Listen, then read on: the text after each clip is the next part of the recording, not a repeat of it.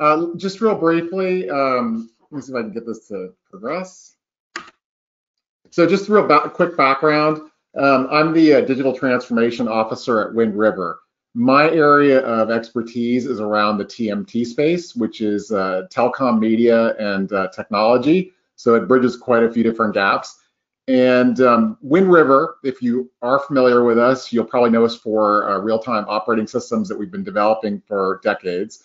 Um, our technology is actually in the Mars rover right now as it rolls around Mars. Um, we build uh, very high efficiency, very reliable mission critical type systems um, that live at the, the far end of the computing world. And so we have identified a need to really build up uh, expertise, capability, and technology in that far edge space. And uh, that's why I'm here. I've got about 30 years of experience in the IT industry, a lot of that in the telecom space. Uh, I'm an ex Big Four consultant, and uh, what I do is, is lead, you know, executive level conversations around technology. So if you're expecting a deep dive on technology, uh, it may not be exactly what we're going to be doing today. But what I do is I live somewhere in the middle um, of marketing, sales, and technology, and I bridge that gap. Um, very frequently, we, we, look at technology to solve a problem, and we don't really know what that problem is before we go solve it. Um, so one of the things that I do is work with our clients to understand what specific business challenge they're trying to solve for, and then identify the solutions that'll move us forward. Uh, like I said, our area of expertise is definitely in the edge and far edge space. Uh, and you'll see us in the news right now doing work around um, virtualization of radio access networks for companies like Verizon, Vodafone, and uh, we continue to work with uh, a lot of companies in manufacturing, aerospace and defense, automotive, and other areas. Um, they really do rely on us for very, like I said, mission critical, real time, very low latency type systems. Um, I'm definitely a, a futurist. I look at where the technology is going, and then I look at how to realistically harness that to drive revenue. Because everything we do at the end of the day, if it's not revenue related, it's really not a lot of point to it. We either have to drive revenue or drive huge efficiencies. Um, me, I'm just like a part-time farmer, love motorcycles, and I'm an esports guy. So I just want to give you a little background, have an idea where I'm coming from. And I'm not huge on a million slides, so if you have questions, ask them, uh, and I can stop and pause uh, but I'll just go ahead and roll forward. So as, as you can imagine, my, my role is definitely around transformation. Um, I, I, pulled a quote here from uh, Charles Darwin, and uh, I think it's relevant in, in, our world. The quote is this, it's not really the strongest of the species that survives, nor the most intelligent that survives. It's the one that is most adaptable to change. And if anything is true in the technology space, uh, manufacturing, supply chain, um, we know that adaptation is critical. There are just thousands of businesses that are going out of business on a daily basis as their technology or their product becomes irrelevant and is replaced by other technologies.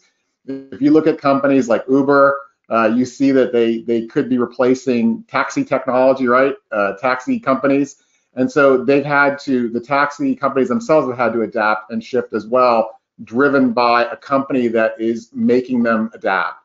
So they say, you know, Darwin says, uh, you know, adapt or die. I say transform or die. Um, it's very critical if your company is going to move forward. So real briefly, um, for those of you that, that may be familiar with the uh, industry uh, versions, we call it, uh, I, I, call it industrial revolutions. Um, there are really uh, four major, major, let's say, delineations in industrial transformation, and I've added a fifth. If we look at the, the first industrial revolution, we looked at mechanization of the production line, uh, moving from doing things by hand to doing things by machine. They harnessed steam, they turned it into mechanical energy, they powered those machines. The first companies to adopt that technology were really the textile manufacturers uh, because they saw an ability to replace human power with machine power uh, to deliver a product that people needed at that time. They were very quickly followed by, by you know, agricultural, mining, and iron concerns um, who saw the same potential. So the thing is, there was a technology advance of some type.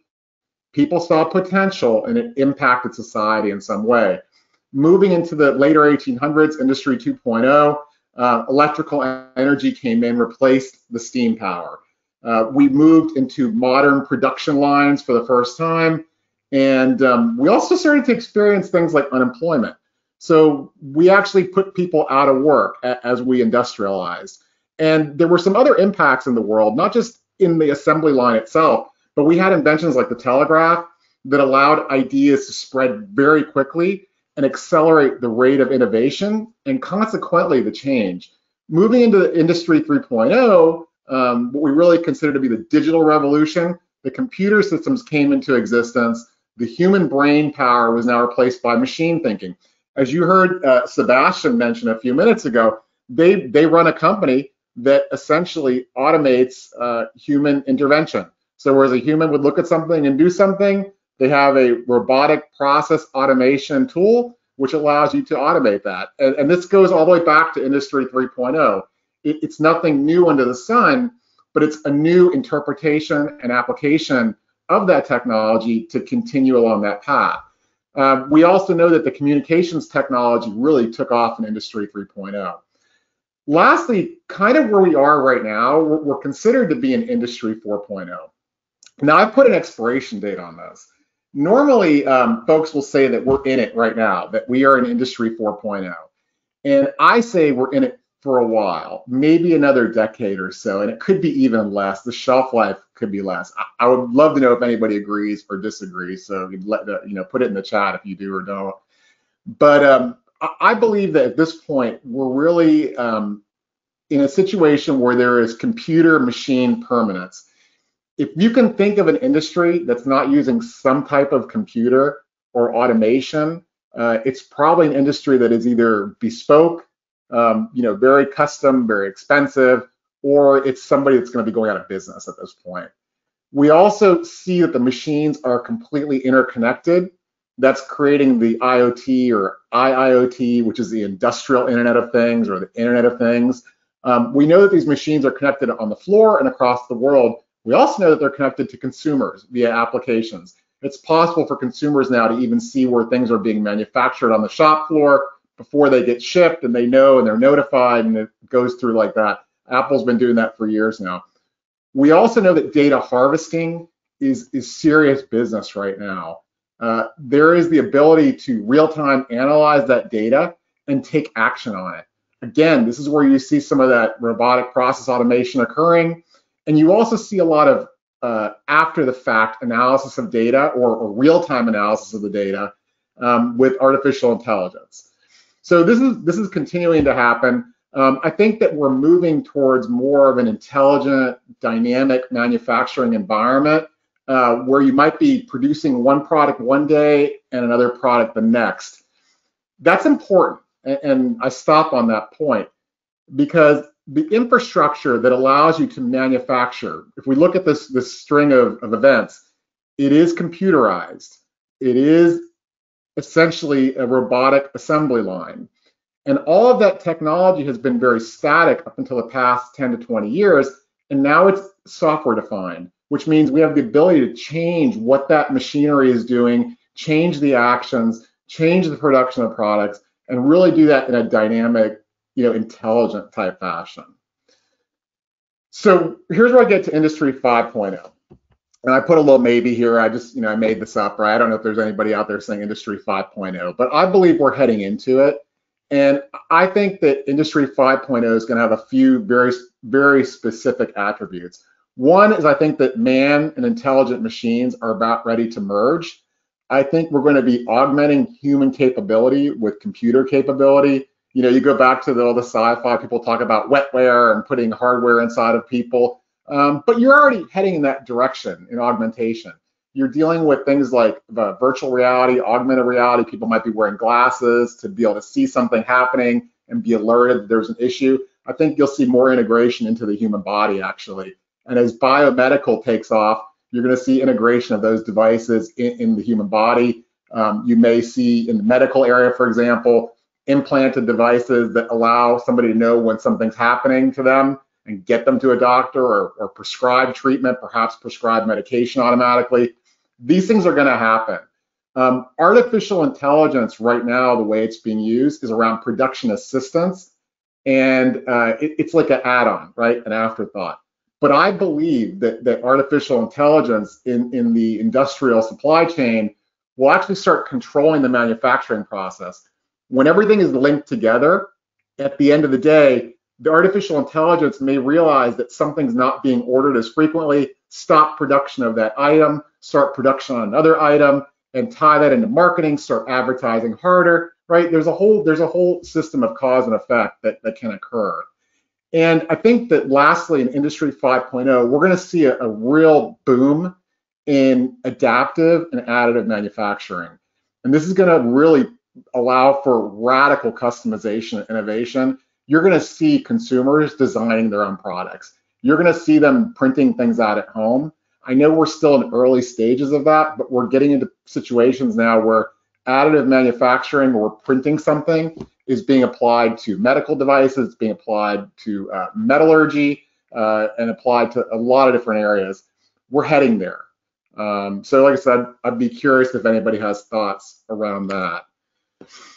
So Industry 4.0 in reality is where we are. I'll, I'll, skip the Industry 5 for the moment. But Industry 4.0 has uh, very specific attributes, and those attributes become more apparent as you move towards the edge. And I'll just quickly define what, what we, when we talk about intelligent edge at Wind River, and, and some other companies may define it differently. What we're saying is that as the edge develops, right? The edge is the place where computing occurs closest to the person that needs it, to a consumer. So for example, if you're driving a car and you are immediately faced with oncoming headlights, your car might make a decision to automatically slow down, veer to the left, veer to the right, right? These are things that, that have to be decided where they're being used. And so the intelligent edge is, is part of that. And intelligent edge is really defined, um, well, I'll say like four attributes or four capabilities. Number one is we're seeing hyperconnectivity. So everything is massively connected, whether it's via 5G now or traditional Wi-Fi or Wi-Fi 6 or Bluetooth.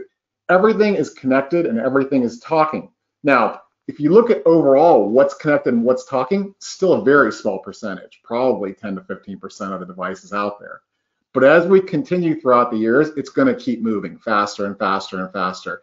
Everything's going to be talking to everything else. So you have to manage that.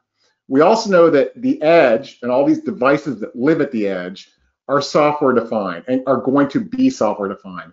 So no longer will they be single purpose devices. They'll be devices that can be, uh, let's say, uh, allocated to do different tasks. One day we might have them doing one thing, one day the next. The systems that run it need to be updated. Those systems need to be secured. They need to be adaptable. That's where we're heading in this world. And that requires a tremendous amount of orchestration at the software level. We also know that machine intelligence, we talked about AI, uh, AI will play an incredible role. Uh, it, it's, it's probably maybe overhyped and, and, people think of things like Skynet or Terminator, right, where it takes over your world. But, but AI is somewhat overhyped at the moment, but it is rapidly being leveraged in very specific use cases where we have massive quantities of data to sort through very, very rapidly and be able to take actionable actions on them, right? Actionable intelligence. We also know that with this edge system, that the attack surface for hackers becomes huge. So these systems are going to have to be highly secured. Imagine my, my you know, my uh, scenario earlier where somebody's driving a car, a person hijacks it, runs it off the road can't have it. Or in a manufacturing facility where somebody pushes the machine to, you know, stop stop picking up a part and moving it somewhere and they just start dropping on the floor or defects aren't detected. There are tons of ways to hack into these systems, so they're going to have to be highly secured. So these are cool qualities. They're all things that we look at the intelligent edge, and it creates new opportunities. And these are, I'll call them business opportunities. We have opportunities for machine to human integration. Any place where a person touches a device, that's an opportunity. We have opportunities around intelligent autonomous machines, machines that will move by themselves, cars that will drive by themselves, vehicles that will move through a warehouse, conveyor systems that will move product around, logistics. Everything that can be automated will be automated. It's a matter of time before we start seeing the drones and everything else that they've talked about out there. And lastly, at this intelligent edge, because things are moving so quickly, we're integrating so many different components together, you're going to see radical customization innovation. You're going to see things. I look at this as a palette wheel, and you're going to see this palette be used to create lots of new and different solutions.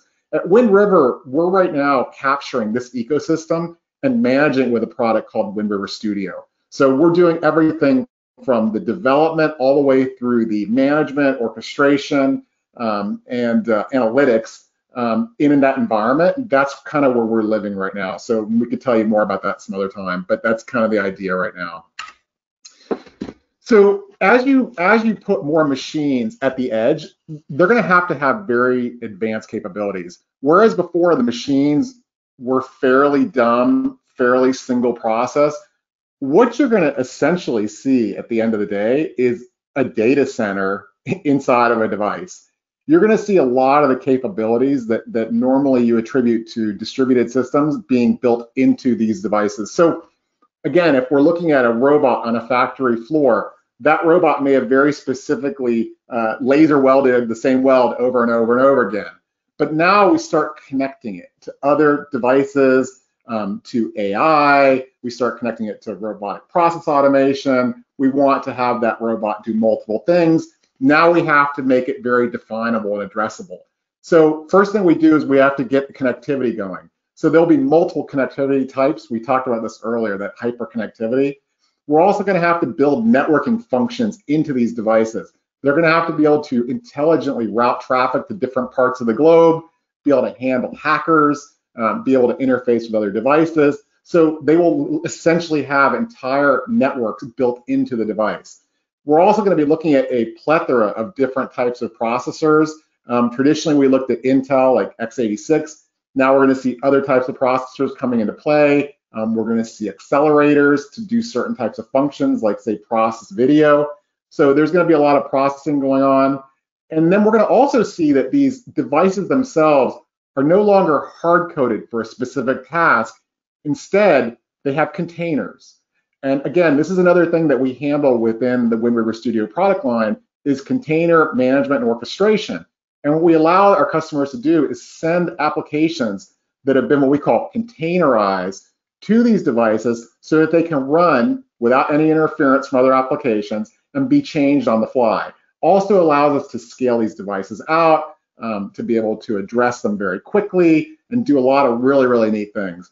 And so there, we're going to be moving to very, very cohesive systems that are single pane of glass that allow us to manage these systems. Right now, it's a lot of separate bits and parts and pieces and systems that are out there to manage. We're going to have to move to more cohesive single pane of glass. And as uh, you heard earlier, RPA, AI, all these different systems come into play, and we have to secure all of this. So there's a lot of stuff going on here, but at the end of the day, these machines are going to glue the cloud to the edge. That's what I say. This is the final step where you're going to take all those cloud application services and glue them down to the device so that it can actually function and do what it needs to do. And then it'll transmit data up and back to the cloud as required. So I'm probably running out of time here, but as we go into these, um, I look at I look at a factory as a series of business outcomes. I don't look at it as technology. Yes, there is enabling technology, but when we're looking at a factory and we're talking about the intelligent edge, all the devices which are within the factory or within a supply chain, you have to be thinking about the business outcomes. What things are you trying to affect that will help your business make money or save money? And so this is an example of a, a flexible factory model that takes all these things into account and then looks at the different technologies that will come into play. I've got them symbolized here, but I also break them down into specific technologies that are required. And all of this that you're looking at here is the intelligent edge. These are all things that have to be managed from a cohesive point of view. And then lastly, you know, where's the opportunity? So we know that I showed you earlier the Industrial Revolution 4 and 5 we know that we're going to move between a, a four window and a five window at some point, and there are opportunities around that, business opportunities. There are new revenue streams to capture. There are opportunities to lift and shift businesses to different models. We have the opportunity for radical innovation to bring in new products and new prototypes. We can improve people's quality of life and drive extreme efficiency. So we know that that is going to happen. When you go to pursue these things, you're going to have to you're going to have to really think through this carefully. Again, this is where my business training comes back in. Is that initiative going to create new revenue for you, or is it going to drive radical efficiencies? And can you measure it? Can the parent organization sustain the transformation, or do you need a new division spun up? Which technology is going to align with those business outcomes? Do you have a mandate to go through this change? And actually, is this technology going to shift so quickly that your solutions will be obsolete? So a lot of stuff to, to kind of talk about, and I know there's a lot there to unpack, um, but I wanted to give you an opportunity just to think about the transformation that's occurring at the edge, and then you can fill in the blanks with all the different technology that's out there, and um, I hope that's helpful for everybody. Any questions? All right, that was great stuff. Thank you so much. Really stimulating a lot of great thinking. Again, you can think of manufacturing, you've got the factory floor, how that ties together with your centralized database and operations. Uh, you can think of anything. Uh, I, I, think you started the, the, session talking about the Mars rover. Yes. I, I would say that's about the most extreme edge computing scenario. But yes. as people look at re-architecting their systems. You know, increasingly everything's being centralized with thin clients or intelligent edge devices. Uh, you know, and it's interesting. We had one of Michael's colleagues speak yesterday specifically on the issue of containerized applications, and he was commenting a lot about that scenario where.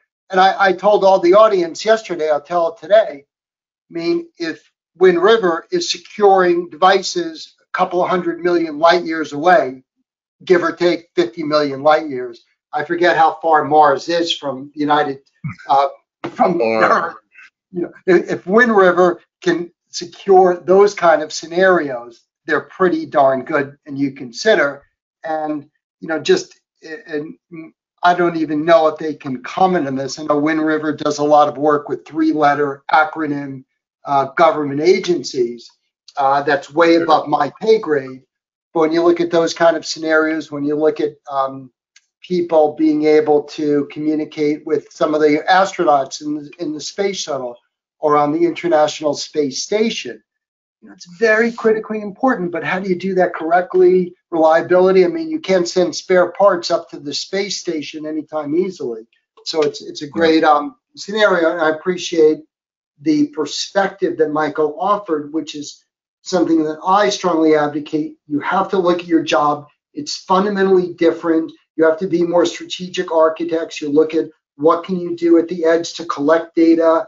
Uh, we're going to hear a lot from our colleagues from Amazon about smart factories. You know, how do you go about setting up private 5G networks in your factory to have more flexible configurations?